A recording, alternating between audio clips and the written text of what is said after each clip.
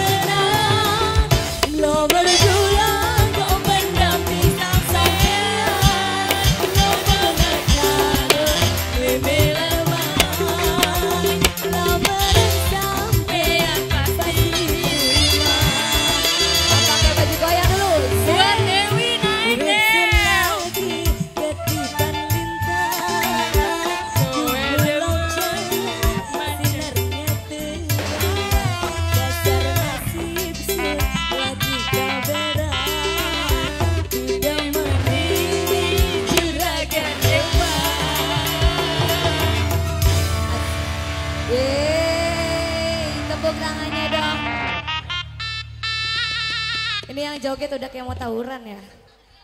Sedih banget.